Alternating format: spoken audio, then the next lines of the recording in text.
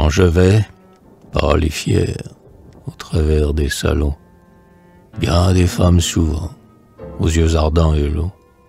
ont jeté sur mon front que le dégoût de leurs yeux veloutés la brûlante étincelle. Non pas que je sois beau, mais dans mes yeux distraits, sous mes longs cheveux noirs, j'ai gardé quelques traits de l'âpreté des monts, où sur mes lèvres rudes, j'ai bu, près des torrents, le vent des solitudes